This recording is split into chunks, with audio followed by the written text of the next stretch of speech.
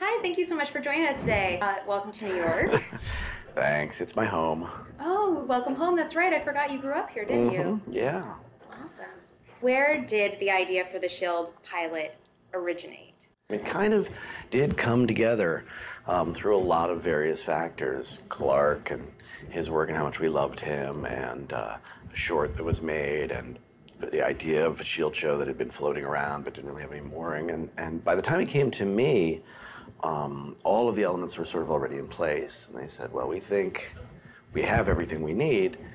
Is there a show? And then for me, the idea behind it uh, was really embodied by Clark. It was the idea of the guy um, in the superhero story who doesn't have any superhero powers. The guy who's next to the big action, who's affected by it, in some cases very damagingly. Clark did not have a great time in the Avengers. I don't know if you saw it, but things sort of went south for him in Act Two there. But um, uh, the idea of the you know the little guy in a huge universe really appealed to me, and that's sort of what we built off of. How was it actually when Coulson, spoiler, uh, dies in the Avengers? How was I? I don't know if you did. You're just hearing about this, but um, So I was in a fog that whole time.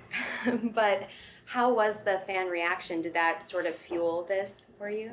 You know, um, people were heartbroken, but not outraged.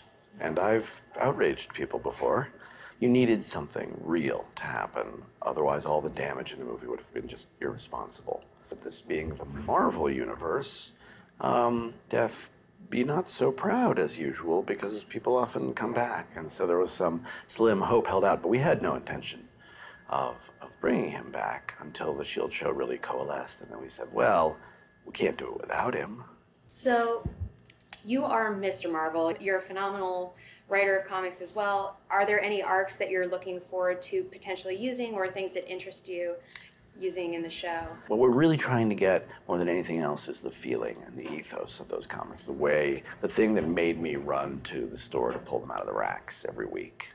And, um, uh, you know, that sort of excitement, the drama, and, you know, the, the wonder of the thing. Those are the things that we really want to capture. But the show is really designed for people to fall in love with a new group of characters.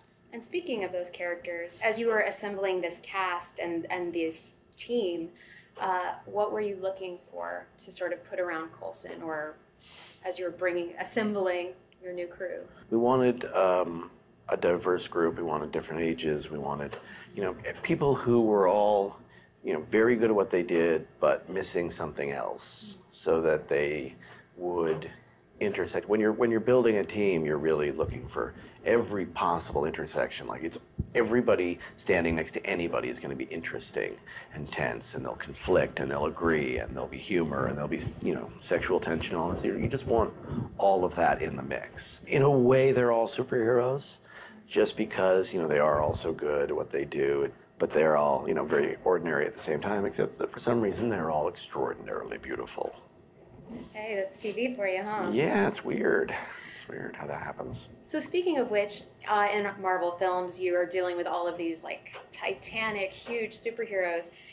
Uh, but is it different having these more everyday characters or or human characters? Yeah, no, actually, the fact is, it's not really different. I mean, you have a team, um, you want everybody to shine, you want to, you know, to give everybody the best work, you know, and the most stuff they can do.